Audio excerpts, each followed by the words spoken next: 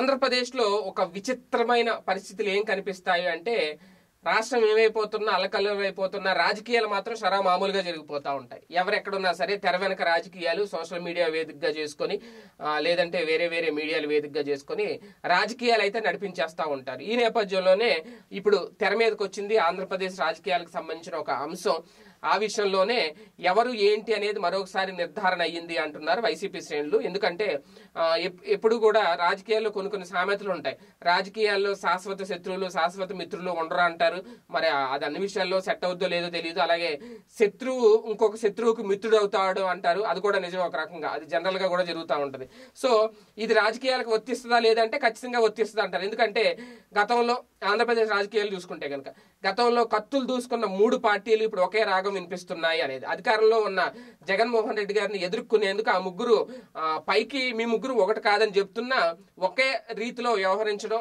ఇప్పుడు ఈ ముగ్గురు ఎవరంటే మూడు పార్టీలు ఎవరంటే అందరికీ తెలిసిన విషయమే. తెలుగుదేశం పార్టీ జనసేన అలాగే భారతీయ జనతా పార్టీ.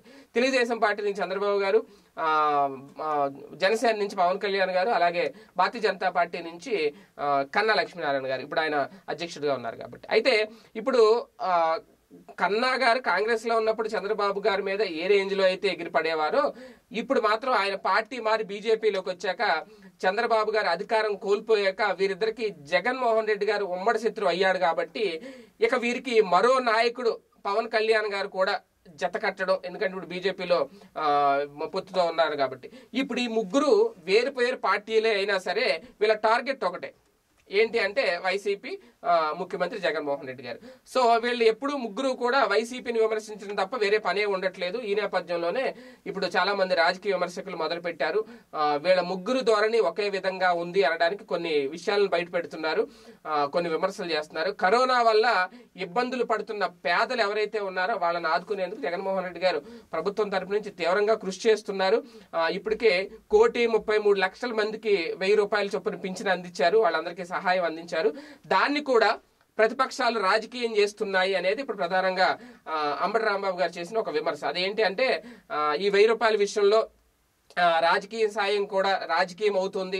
సారీ ఈ వెయ్యి రూపాయలు అందించడం కూడా రాజకీయం చేస్తున్నారు వీళ్ళు అనేది. ఎందుకంటే వెయ్యి రూపాయలు ఇచ్చి ఫ్యాన్ గుర్తుకు ఓటేయాలి అని చెప్పి అడుగుతున్నారు వీళ్ళు అని చెప్పి ఒక వీడియో విడుదల చేసిన కర్ణా లక్ష్మీనారాయణ గారు. దీని మీద అంబర్ అంబడి రాంబాబు గారు ఘాటైన విమర్శలు చేశారు. చిత్తశుద్ధి ఉంటే దమ్ముంటే ఆ వీడియో ఎక్కడితో చూ బయట పెట్టండి.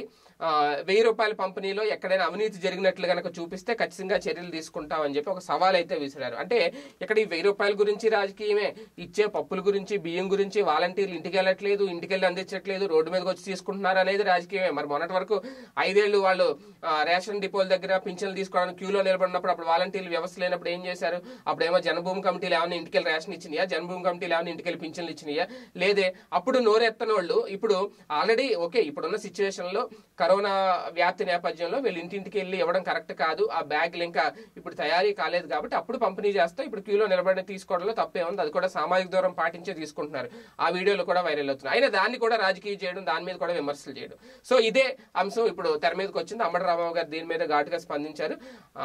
మూడు పార్టీలు ఏకమైపోయి ఒకే ధోరణిలో జగన్మోహన్ రెడ్డి గారిని వైసీపీ ప్రభుత్వాన్ని విమర్శించడమే ధ్యేయంగా పెట్టుకుంది అనేది మరొకసారి నిరూపణ అయిందంటున్నారు రాజకీయ విశ్లేషకులు.